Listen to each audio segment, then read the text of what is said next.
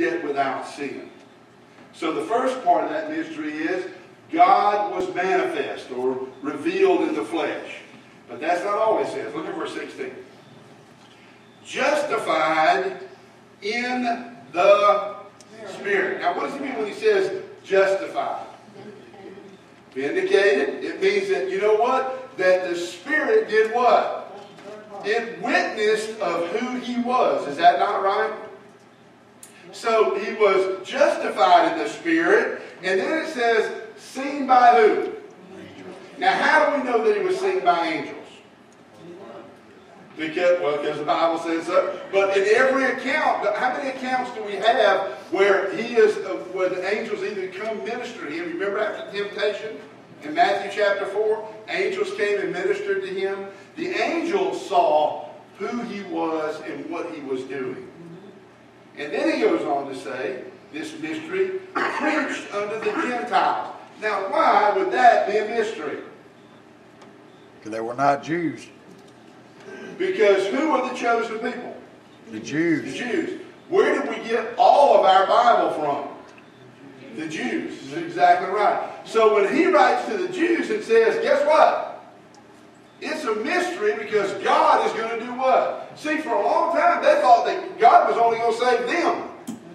When in reality, God's plan of salvation was going to be for who? Whosoever. Amen. Didn't matter what your background, didn't matter what your culture, God was going to save everybody. He said, it's a mystery that he was preached unto the Gentiles. Believed on in the world, and then finally received up into glory. Now, you have to think about this in each individual case. Because what he's doing is making a legal argument for the salvation of mankind. Because here's the deal. You have to remember that in their time period, the Sadducees did not believe in the resurrection of the body.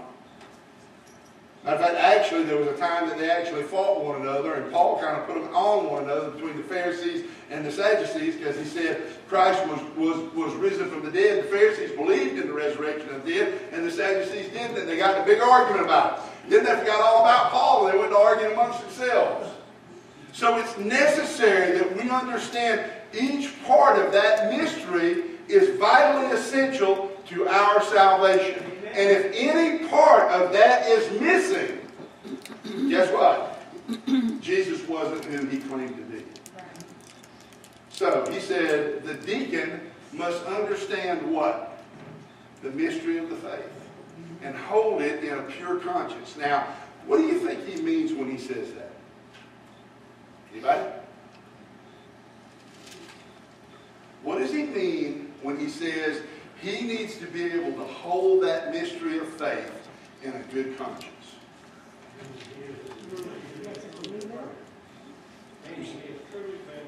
It means that he's truly been converted. I'll go you one step further than that. Has the ability to be able to share those facts with other people. Now, here's the deal.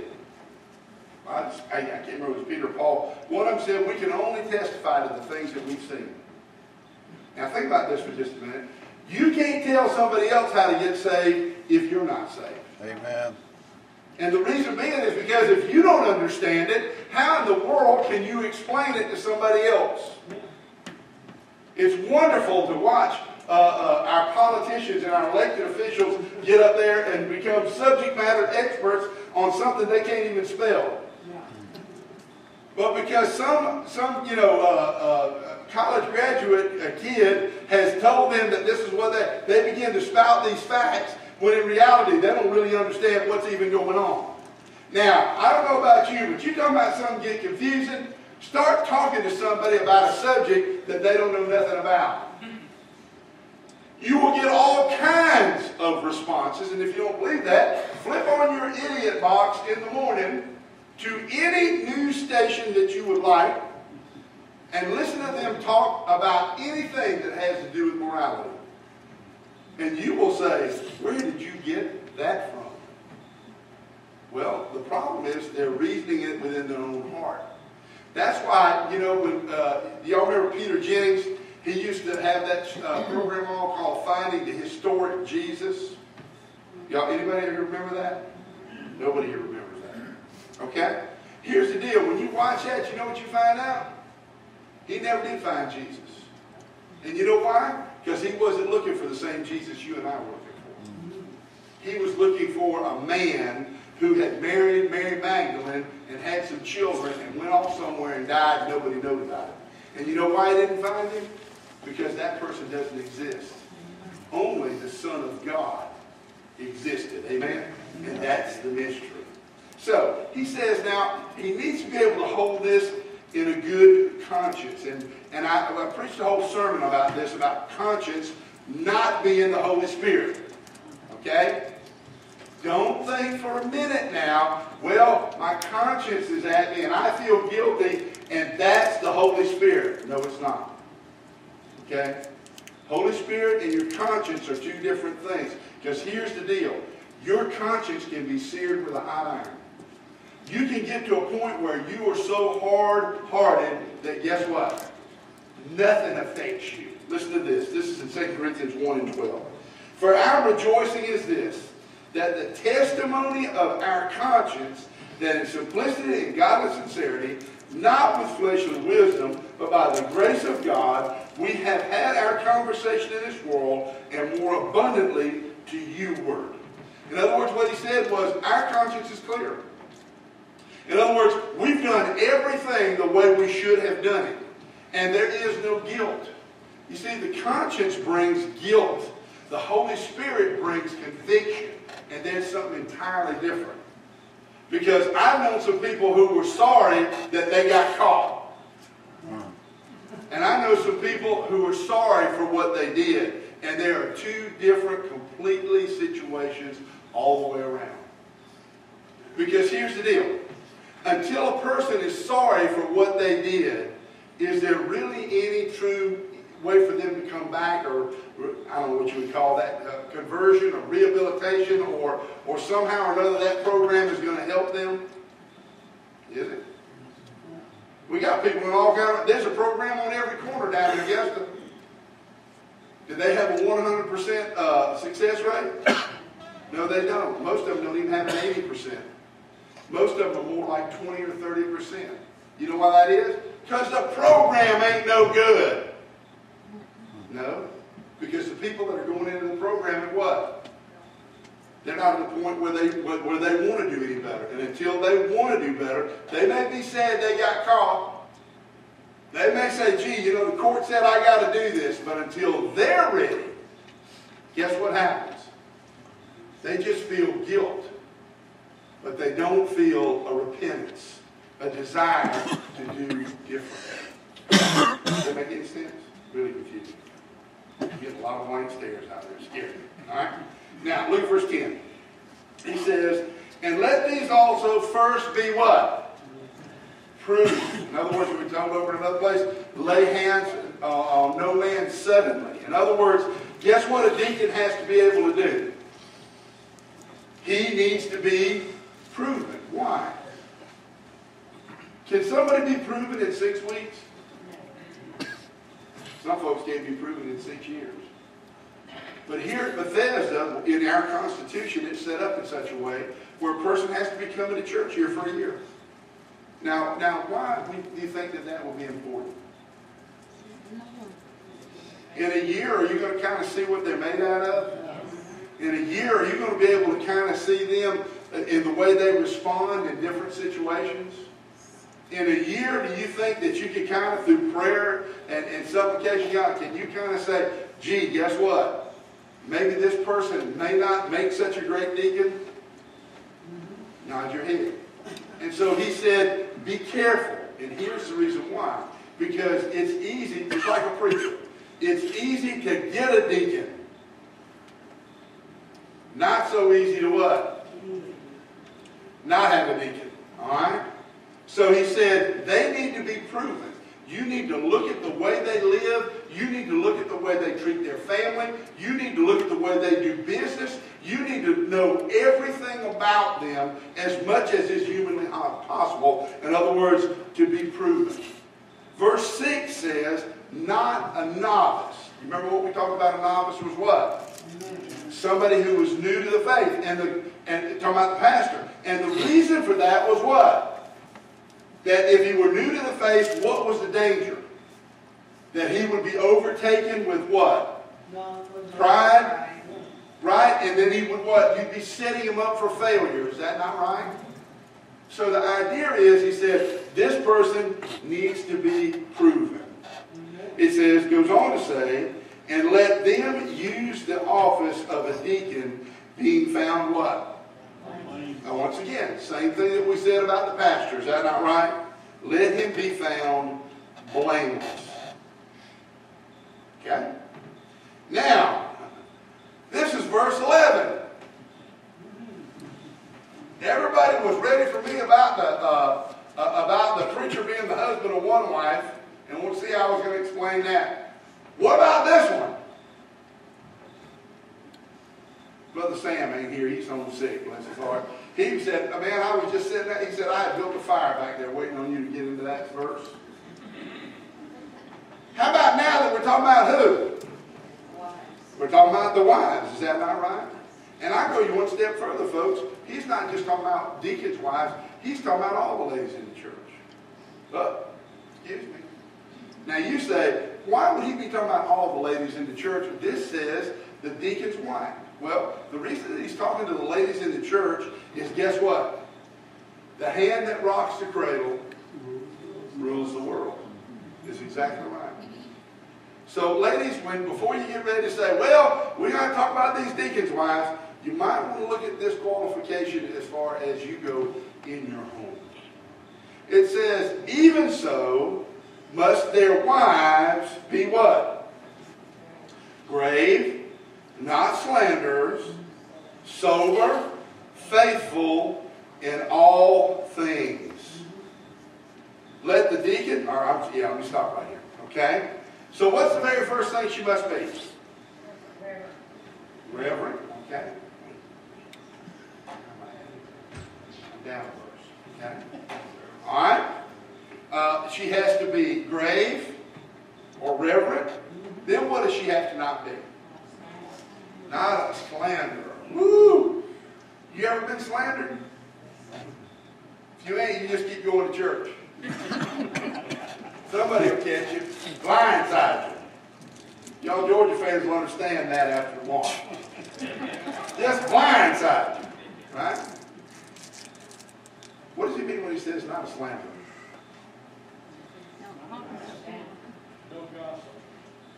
No gospel. Yeah. Was it, isn't that funny? It was a man that came up with that. I'm just saying. Look at this. Second Thessalonians 3 and 11. He says, For we hear that there are some which walk among you how? Disorderly. Working not at all, but are... Now let me ask you a question. How does the Bible say you get to be a busybody?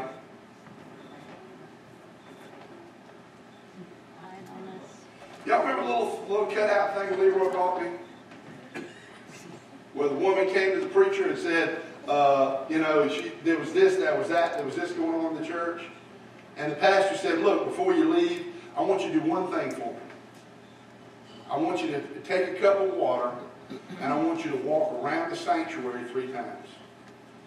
Les said, sure, I can do that. That's not a big deal. She came back to him and he said, let me ask you a question. He said, when you were walking around the sanctuary with that water and all them people there, did you see any hypocrites? Well, no, I was concentrating on the water.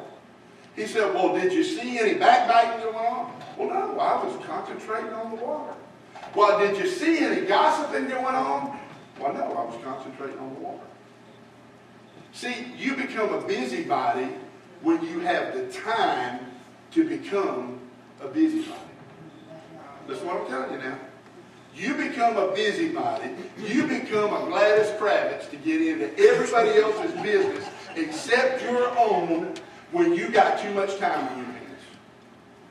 Because let me tell you something. If you're working for the Lord, for the secular, for your family, whatever, when you're working, guess what?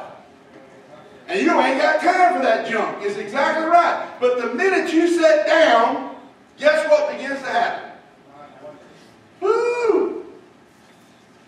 Now, my wife,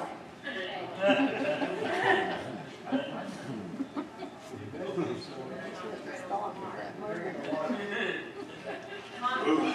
Hey, you need to take a water while we're here. my wife told me the other day, and we've lived in our house for 20 something years. Yeah, 30 something, a long time. How old are you? And she said,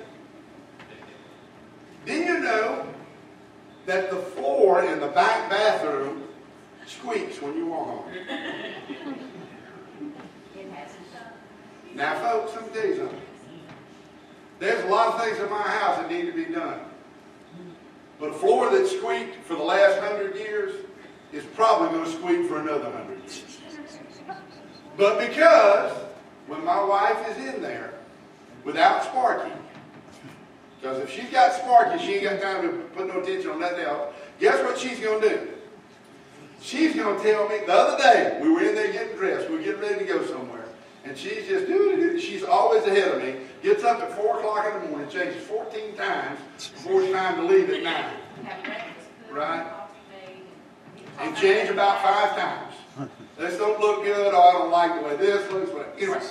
But we're standing there, and she says, she looks at the walls and says, you know, the walls in this bedroom need to be painted. I said, I like the color of the walls in the bedroom because I don't like the paint. But see, the thing that I'm trying to tell you is, if you get enough time on your hands, guess what you can do? You can find fault with something. Say amen. Nod your head. Right? Something you ain't never even thought about before will just fly into your head. And have to get done before the sun sets. Or, guess what? If you can't figure out something at your house that needs to be done, guess what you'll do? You'll talk about somebody else's house and what needs to be done over there. Say amen. In other words, you begin to get into other people's business, and Jesus put it very simply, don't worry about the splinter in your husband's eye. If what? If you got a telephone pole in yours. In other words, we kind of put it this way. I'm going to give you the boat building international version. Sometimes we ought to sweep around our own front doorstep before we worry about what somebody else is doing in the church. Now, I'm going to tell you something. And I'm going to point something out to you that you may have never thought about, but let me tell you something. Do you know that the people that complain about the teachers at Bethesda Baptist Church are not teachers? Never have been, and for the most part, unless God changes their heart, never will be. But they'll complain about the teacher. And you say, you know, that's right, you're right, brother so and so. He just ain't. Well, how about you teach? I'm not a teacher. Amen? I just don't like the way they're doing that nursery back there. That Miss Peggy, I don't know, just dominates the place. Right? You help out? Not me. I can't help out in there. Amen? I don't like the way the grass is being cut outside. I'm going to tell you what, Rip, let's talk to your husband. I don't like, man, you don't realize we was down here at 6 o'clock last night? that man was out here working in the dark. I thought, man, that's more dedication than I got. I don't like the way this is being done. Well, how about you step in? Oh, Kentucky, not me. See? And you know why that is? Because you got too much time on your hands. If you were doing for the kingdom of God, if you were doing what you should be doing, guess what would happen? You wouldn't have time to worry about what everybody else is doing. You know why? Because I'm charging so hard. When I was in the secular world, I had a guy come talk to me about what was going on in another department. He was talking about another manager. And my response to him was simply this. If I could straighten out the problems in my own department, I would worry about what's going on in your department. But the problem is I can't straighten out the problems that are in my department. So here's the deal. Before you get ready to complain about what somebody else is doing, ask yourself this. would you be willing to do what they're doing? And if the answer to that is no, then I would encourage you to keep your mouth shut. I hope that wasn't too strong. But that is the reality. Okay? That's not all it says. First Timothy five and thirteen says, and withal, and, and with all, they learn to be idle, wandering about from house to house, and not only idle, but tattlers also, and busybodies, speaking things which what? Now, if you happen to be in a conversation with somebody from Bethesda Baptist Church, notice I did not say a church member, okay? If you happen to be in a conversation and that conversation begins, I shouldn't say this, but you need to stop it right there at those three letters. Because if you shouldn't be saying it, and the Holy Spirit is telling you, don't say it, you ought to keep your mouth shut. Okay? That's going to hurt some feelings. I'm sorry. Because here's the deal, folks. Whether we realize it or not, people, people that we would encourage to come here and be a part of this church, they're listening to what you're saying. They're hearing the foolishness when you run down the leadership or, or you run down another church member. Does that mean that all our church members are perfect? But you know, if you've got a problem with them, the Bible gives a way. It's in Matthew chapter 4, uh, Matthew chapter 18, I'm sorry. A way to deal with if you got a problem with another brother or sister. Amen? And you know where that begins? It don't begin on your big button phone trying to burn up all your minutes. If you got a problem, the Bible says, what are you supposed to do? Go to them how? Face to face. You can't work it out. What should happen? Take another brother or sister with you. Is that not right? Still can't work it out. What happens? Go to the church. Exactly right. So there's a way to deal with it. You know what I'm saying? And there's a way that God will honor you dealing with it. But he don't honor this tattletale and big busybody and backbite and all that kind of stuff. And he says you need to be careful. One more verse. 1 Peter 3 and 10. He says, For he that will love life and see good days, let him refrain his tongue from evil, and his lips that they speak no guile. Now, you know, guile can be helpful to the body or it can be a poison. And what he's trying to say is this. He said, if you want to have a good testimony, if you want to have a good relationship with your church and your community, be careful what this thing does. Because that tongue can destroy people's lives. It can destroy ministries. Well, now, I, y'all ever heard this conversation? Well, I heard Man, that'll get you, Brother John. That's right. That'll be red flag big time, right? Because you heard it what? Fifth, sixth, twelfth, thirteenth hand? Maybe, if you're lucky. So, a deacon's wife must be not a slanderer. Must be sober. and must be faithful in all things. Now, of all the qualifications that I see here, that last phrase is the one that scares me as a pastor the most. And that is that guess what? How many things, ladies, can you not be found faithful? I'm. How many, how many things can you be found not faithful in? Go back to the verse, verse 11. Faithful in all things. What does faithful mean? Anybody know? True. True. What? I'm sorry? True to your word. Anybody else? Consistent. Consistent. How about this? This is the one I like this. Can be depended upon. Can a faithful person be depended upon? Y'all ever, in your secular jobs, uh, you ever you ever had those people that were the go-to people? If you had a problem, you know what I'm saying? You could go to that person and you knew something could get done about it.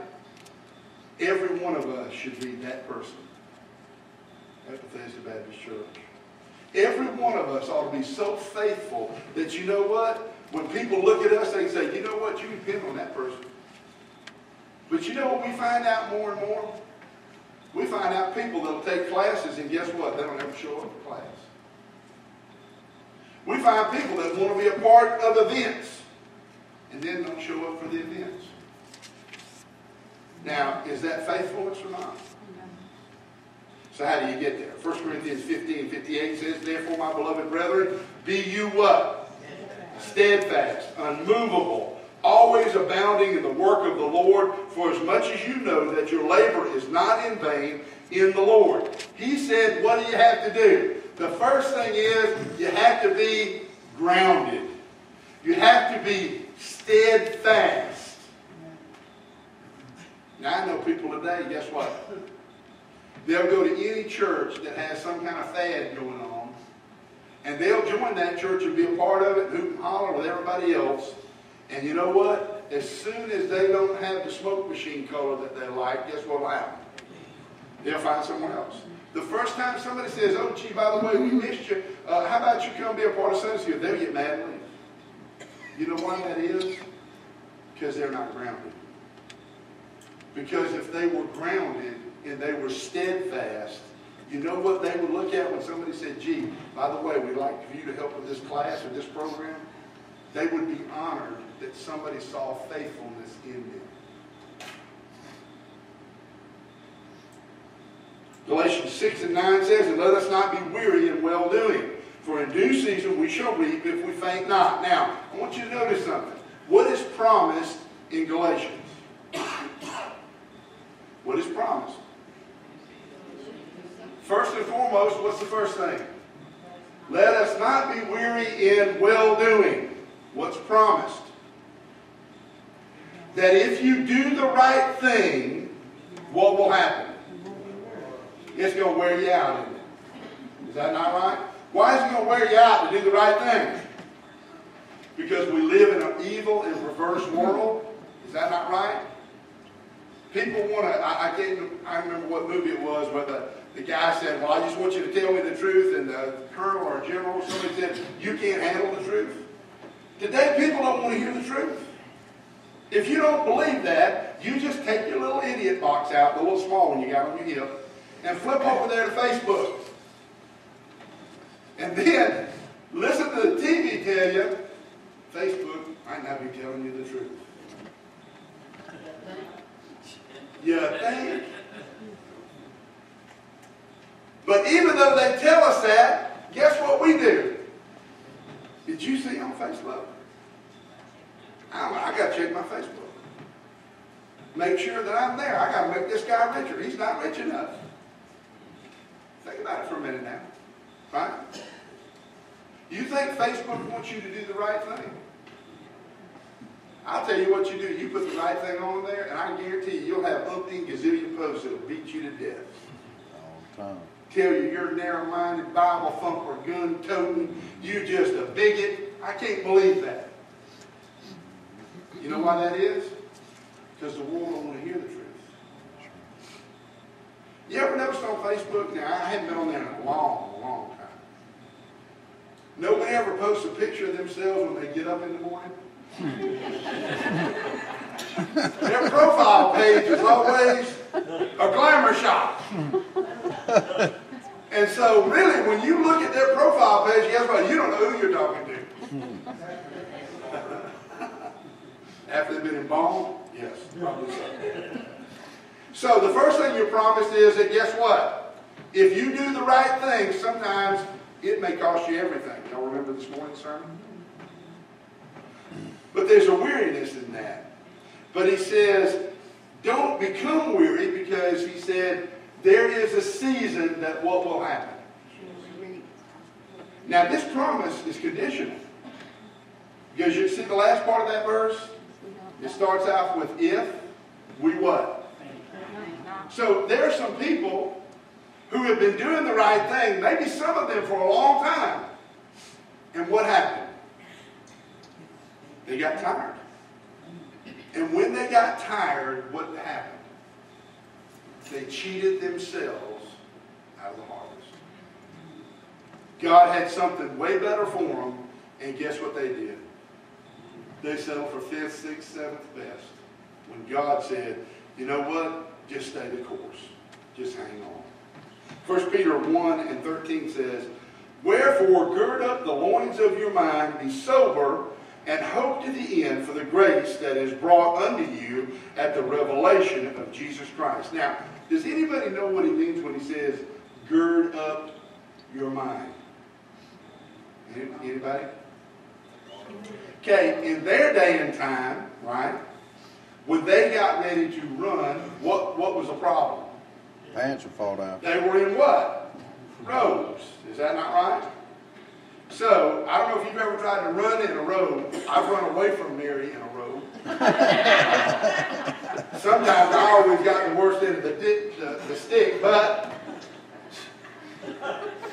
So what they would do is they would lash, they, they pull a, a, like a belt up between their, the, the robe, and they would tie it off. And what it would do is make it like pants. And they would run, you know what I'm saying? They'd be able to run and battle, and they'd be able to do all those things that they couldn't do without that girded up. And that's what he's saying about your mind. You need to have a protection around your mind. Now, why is that? Anybody? You got all things going on. Got a lot of things going on up there. I'll go with that. Everything you hear, everything you see.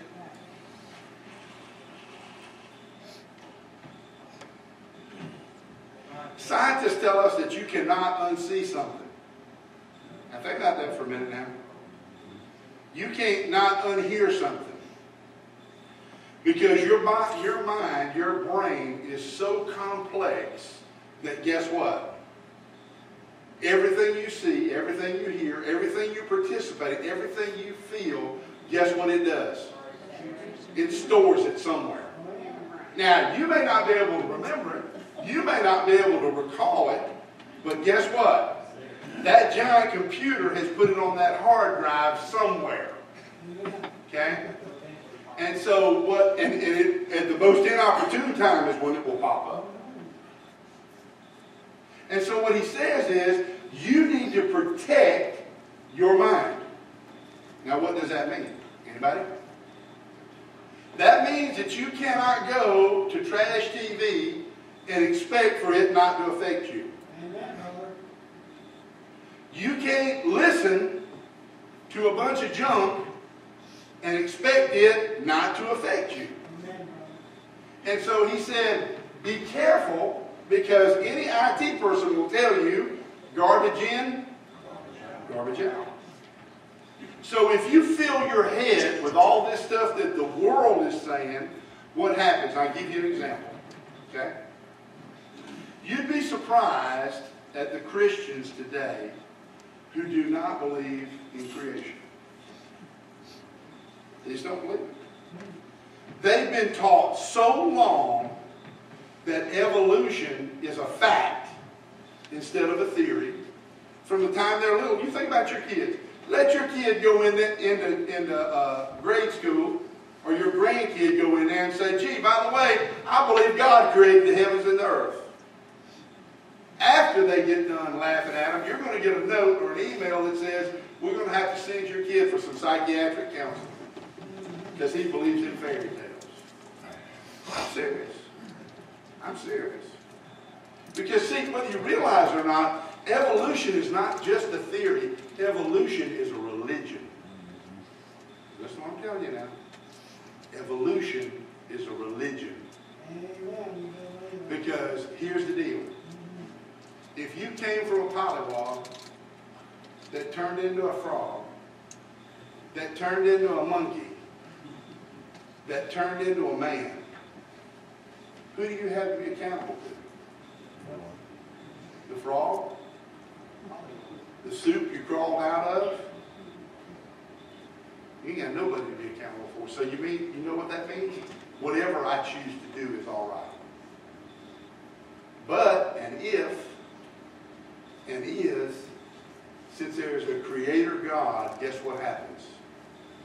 Now man becomes what? Accountable. And guess what man don't want to be? Because if I think for a minute that I got to give an answer for the way I've lived, guess what happens? It makes me much more careful.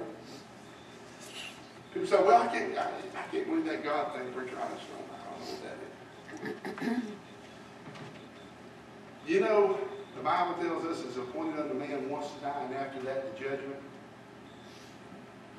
And when you get to heaven, I can't find anywhere in the Bible where you're going to be able to stand before the throne of grace and say, oops, I made a mistake.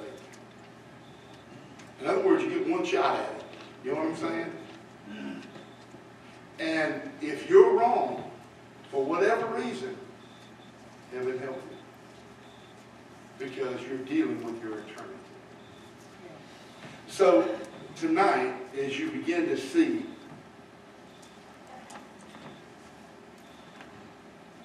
what these qualifications are, before you get real quick to jump on the bandwagon and criticize somebody, you might want to look at your own life.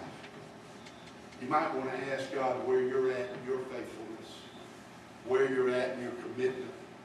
I wish our church was full of all the people that supposedly are members here, so I could ask them the exact same question. Where is your faithfulness? Where is your commitment? We're starting a new year. You know, folks, we started this morning with one of the lowest attendances we've had in a long. And it's brand new. Why is that? Because guess what we find out when we see faithfulness, when we see commitment? We know what it is, but most of us don't practice it. So today, during this invitation, I want you to think about where you're at in the Lord. I want you to think about where you're at in these qualifications. I go you one step further. Look at this and look at your life and see if any of it lines up. If it doesn't, if there are areas where you need to get better, I can think of no better place to start than the first Sunday night in uh, 2018, right here at the altar of Bethesda. Brother David, what number are we going to sing tonight, sir? Page 280, as you take your hymn, will you stand with me? Turn to page 280 and join me as we pray. Our Father and our God, as we bow in your presence, Lord, we worship you, we honor you, and we praise you. We thank you for your word, and we thank you, Lord, for your love for us. Lord, I thank you for the leadership that we have here at Bethesda. Father, I, I know their hearts, and Lord, I know their lives. I've watched them as you've used them, Lord, over and over and over to minister to this church. Bless them. Continue to be with their families and help them, Lord, as they minister to us. Lord, help us as a church to always be in prayer for them. For, Lord, we realize that their families are constantly under attack by the evil one. And, Father, for every one of us today, when we're tempted to shoot that arrow, when we're tempted to make that cutting remark,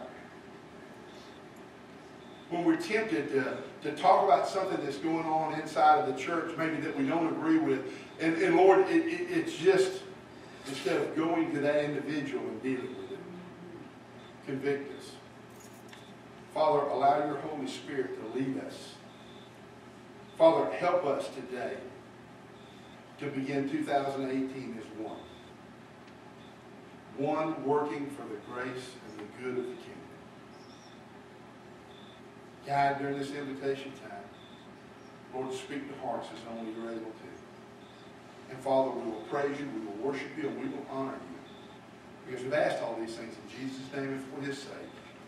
And my family said with me. Amen. Wait for the music. God speaking.